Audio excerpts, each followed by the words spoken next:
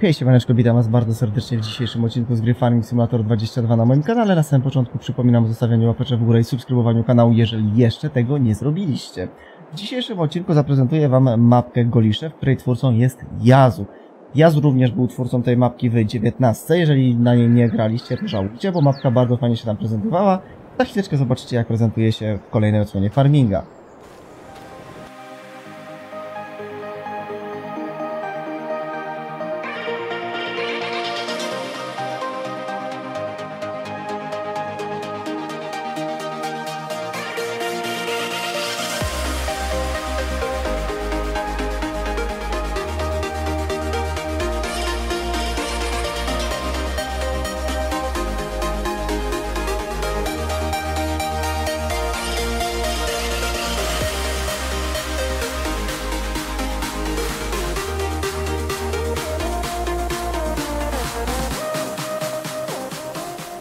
Jeżeli chodzi o samą mapkę, moi drodzy, to tutaj mamy cztery gospodarstwa z różnymi zwierzętami, ale każde z gospodarstw możemy mieć osobno, albo możemy mieć nawet wszystkie gospodarstwa, także fajnie się tutaj nakłada, jeżeli chodzi o samą rozgrywkę na multiplayerze, bo jak sobie zobaczycie, no to mamy tutaj jedno gospodarstwo, tutaj mamy drugie gospodarstwo, tu jak widzicie mamy nawet kilka tych kurników, także tu jest mega duży plus, możemy sobie nawet je tutaj odwiedzić.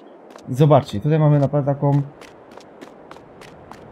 Kur fermę, serio. No, no tutaj to, to nie jest, to nie jest kurnik, to, to jest ferma kur po prostu już tutaj mamy i, i możemy naprawdę bardzo dużo tych kur tutaj sobie e, hodować, bo mamy raz, dwa, trzy, sześć takich dużych kurników, to przekłada się na, przełoży się na pewno, no w 100% się nam przełoży na, e, na, na, na to, że no, pieniędzy z jaj to nam na pewno nie zabraknie. Lecąc dalej na samą mapkę, no to mamy tutaj, jak widzicie, moi drodzy, chleby. Chlebów też mamy trzy, ale co ważne, no to można by się było pokusić o to, żeby na przykład sprzedać kilka tych chlebów, bo nie wiem, czy komuś by się chciało trzy czy cztery duże chlewy e, trzymać i, i zapierdzielać w tym. Jest też oczywiście możliwość kupienia sobie terenu na mapie i oczywiście wybudowania swojego własnego gospodarstwa, jakby no tutaj nie jest to w żaden sposób zabronione, bo no jak sami się domyślacie, to e, na każdej mapce możemy tak na dobrą sprawę to zrobić, także tutaj też bez problemu. Jeśli chodzi o jakieś tutaj zbiorniki na wodę, szklarnie, tutaj mamy nawet, e, wiecie, taką fermę ze szklarniami. Jeśli chodzi o tereny, no to, tak jak widzicie tutaj ten teren na przykład ze szklarniami musielibyśmy sobie kupić i z tego co się orientuję i z opisu e, odjazdu, co wynika, to e, żeby używać tych właśnie budynków, no to musicie sobie kupić teren, także no tutaj tak to wygląda. Jeśli chodzi, to my tutaj startujemy z gospodarstwem dla krów, jak widzicie, ale mamy tylko jedną oborę. E, także tutaj no, domyślnie startujemy z tym, nie? Także no, tutaj jakby mamy jedną oborę. No i tak się zastanawiam, dlaczego no tutaj Jazu zrobił na takiej zasadzie, że na przykład mamy e, stajnie duże, nie? E, tutaj mamy obora dla krów i tu mamy obora dla krów, e, ale my startujemy domyślnie z tym terenem. Możemy sobie to oczywiście jak najbardziej rozbudować o, e, o tutaj, o ten na przykład obszar, gdzie mamy e, trochę więcej tej obory. Tutaj mamy też jakiś tam agro as services i tutaj mamy jakieś tam e, nierdzewny zbiornik na nawóz i, i różne takie miejsca, gdzie moglibyśmy na przykład sobie dokupić, gdybyśmy chcieli rozbudować w jakikolwiek sposób nasze mm, gospodarstwo. Jeśli chodzi tutaj o szklarnię, no to tak jak mówiłem, tu mamy możliwość zrobienia szklarni, tu mamy stację, jedna stacja, druga stacja, tu mamy cieśle, mamy mm, piekarza. Jak się domyślacie, jak zauważyliście, no to bardzo dużo tych budynków jest y, jakby no e, tych, z tych domyślnych z gry. Ja tutaj nie ma jakoś mega mocno mm, rozbudowanej swojej stricte e, bazy modeli budynków, e, więc wykorzystuję w dużej mierze te, które są dostępne, czy to z modyfikacji. Między innymi korzystał też z modyfikacji od e, L. Lukiego, od Prezesa, od Myro 7077, 7071. O, będzie najlepiej. Jak powiem to jeszcze raz. Dobra. No i co się tutaj jeszcze może zmieniać nam? No to mamy możliwość, powiedzmy sobie szczerze,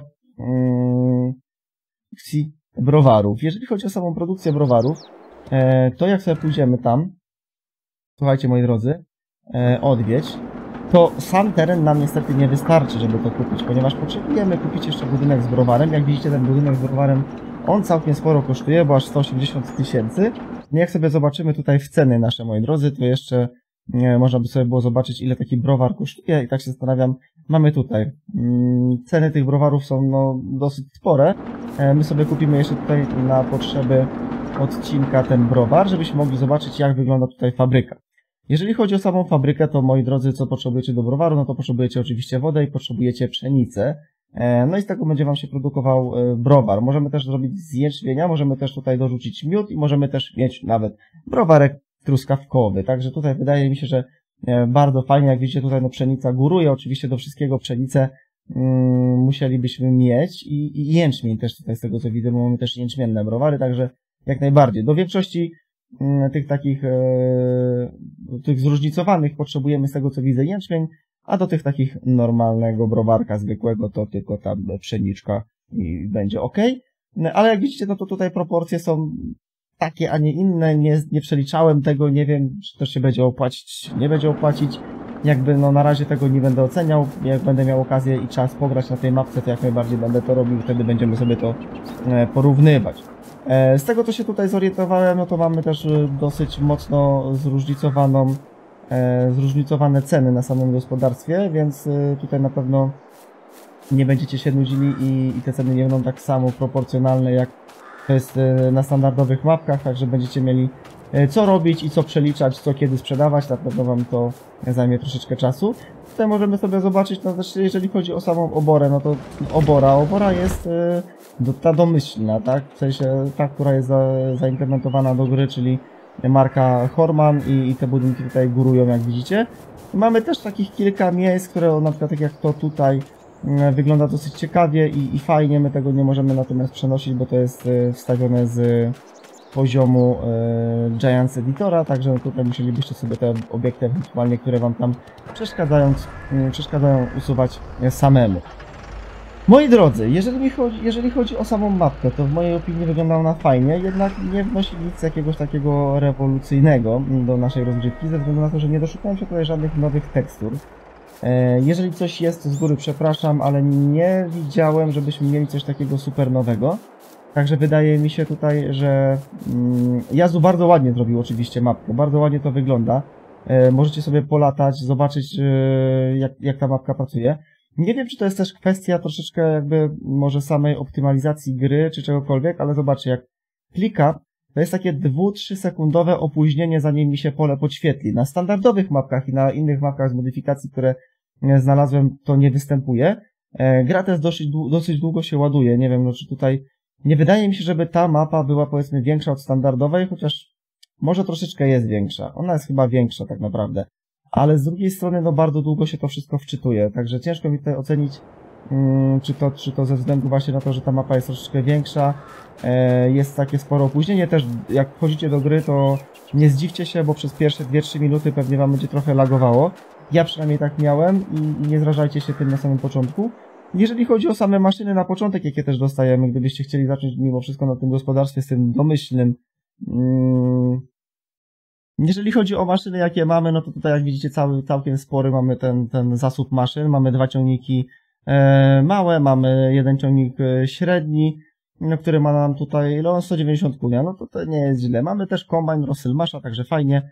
Dobrze mówię Rosselmasz, tak, zdaję, zgadzam się, to jest Rosselmasz. Kosiarka ta taka i pick-up to tak dorzucone, bo jest, ale wiadomo, że większość z nas to pewnie by to od razu sprzedała. Mamy ogólnie jakby bardzo szeroko rozbudowane gospodarstwo, na to wygląda. Ale jeżeli chodzi o same pola, to na początek nie dostajemy e, ich zbyt wiele, bo jak sobie zobaczycie, to mamy tutaj 56, mamy e, 60, to jest 64, 64, tak? 45 i 40. 40 jest tutaj chyba jakimiś budynkami dodatkowo. A, stodołę tutaj mamy na 40, bo tutaj mamy mm, pewnie, jak się domyślacie, łąkę.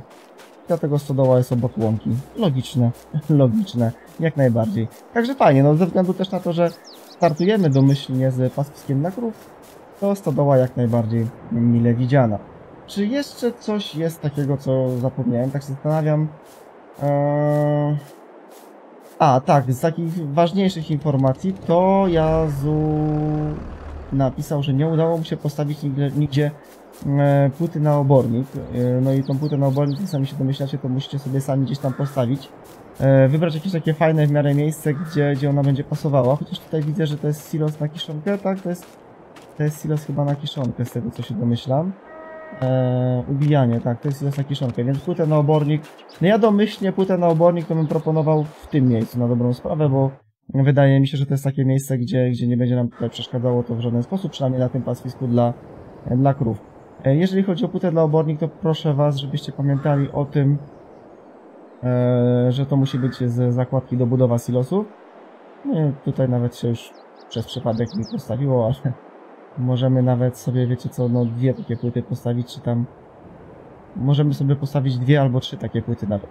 Jeżeli odcinek Ci się widzu podobał, to oczywiście zostaw łapeczkę w górę, zasubskrybuj kanał. E, no i pamiętaj napisać, czy będziesz grał na mapce, czy przetestowałeś. Jak przetestowałeś, jak wpadłeś, zobaczyłeś, pograłeś, to napisz w komentarzu, jak oceniasz. Się wydaje, że jest przyzwoicie. Jak na, na naprawdę na takie, wiecie, polskie klimaty, to w sensie, może bym nawet powiedział, że samo gospodarstwo już nie jest takim PGR-owskim gospodarstwem, a wręcz powiedziałbym, że już poszliśmy tutaj w kierunku takiego fajnego, nowoczesnego gospo. Trzymajcie się mordeczki, pozdrawiam do następnego. Hej, hej!